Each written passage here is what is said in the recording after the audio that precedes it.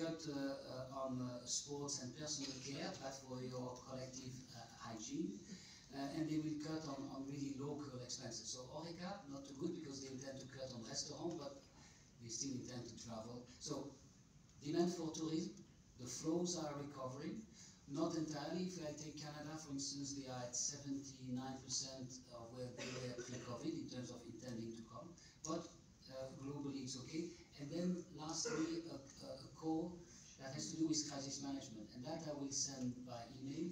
We have contracted Deloitte to make a study to identify best practices in terms of early warning for crisis, in terms of crisis preparedness and crisis management.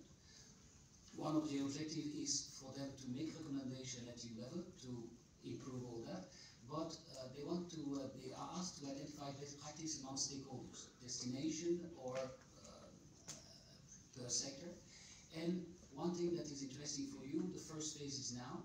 I will circulate uh, an email address when you can volunteer your document. But after they study the document, they are asked to do seven, uh, 50, uh, 50 mission on site uh, just to advise you on how to improve your risk awareness and risk preparedness.